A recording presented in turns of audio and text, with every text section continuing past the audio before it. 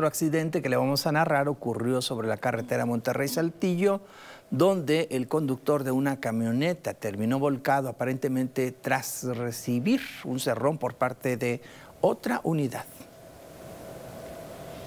La mañana de este jueves se registró la volcadura de una camioneta en la carretera Monterrey-Saltillo, la cual mantuvo afectada la circulación durante más de una hora. El incidente ocurrió minutos después de las 11 de la mañana en el kilómetro 22 a la altura de una planta cementera y fue protagonizado por el conductor de una Nissan NP300 que transportaba grapas. El hombre aseguró que al transitar con dirección de norte a sur, otro vehículo le cerró el paso, lo que lo hizo perder el control del volante y que su unidad volcara sobre su costado izquierdo. A pesar de lo anterior, el chofer resultó ileso. Sin embargo, su camioneta quedó atravesada sobre el carril izquierdo, lo que provocó un severo congestionamiento vehicular en aquel tramo. Elementos de la Guardia Nacional acudieron a tomar conocimiento de lo ocurrido y ordenaron que una grúa realizara el levantamiento del vehículo siniestrado con el fin de que se reabriera el carril afectado, informó para Telezócalo Augusto Rodríguez.